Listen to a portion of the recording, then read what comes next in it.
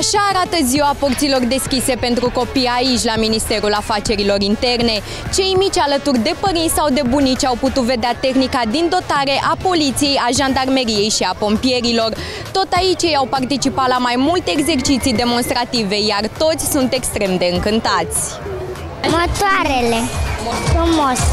O să mai vin.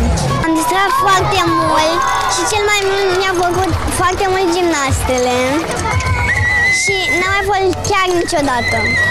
Bine ați venit la Ziua Porților Deschise pentru Copii la Ministerul Afacerilor Interne și implicit la standul Jandarmeriei București. Avem uh, aici standul cu materialele specifice jandarmeriei, materialele de intervenție antiteroristă și nu numai, materialele de descindere, câteva materiale de cavalerie, autovehiculele special dotate pentru intervențiile jandarmeriei române. Avem un stand în desfășurare unde băieții noștri uh, activează la un exercițiu de tatami, un sport de contact și autoapărare folosit în tehnicile noastre de intervenție. Mai avem uh, câinii jandarmeriei, binecunoscuții Samir și Higgins, cei care sunt uh, vedetele noastre canine și preferații copiilor. Vrem să-i obișnuim cu ceea ce facem noi, cum facem și mai ales de ce facem, ca ei să devină adulți informați și să eliminăm oarecum uh, anumite discrepanțe la nivel de concepție între populația civilă și acțiunile jandarmeriei române.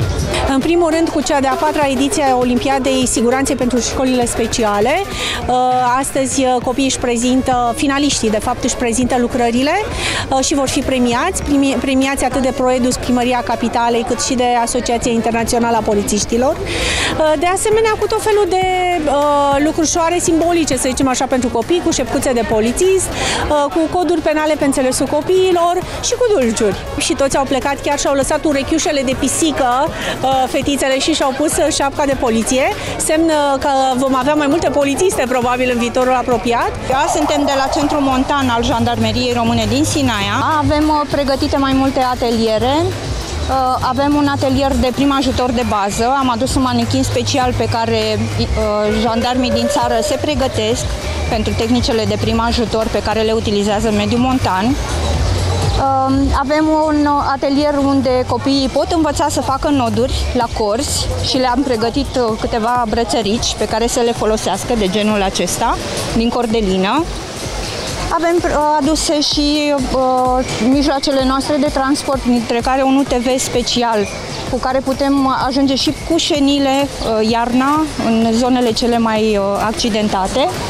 Ajungem în timp, în timp optim. Uh, avem pregătite și exerciții de rapel și de salvare de pe clădire cu targa și de salvarea unei persoane blocate în coardă pe clădire.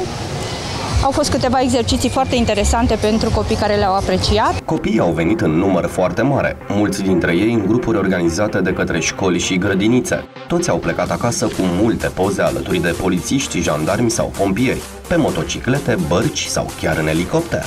Mie mi-a plăcut gimnastica. Da, gimnastica. Mie mi-a plăcut cățelul. Cățelul. Mie mi-au plăcut sportivele. Da. Mie mi-a plăcut cățelușuie.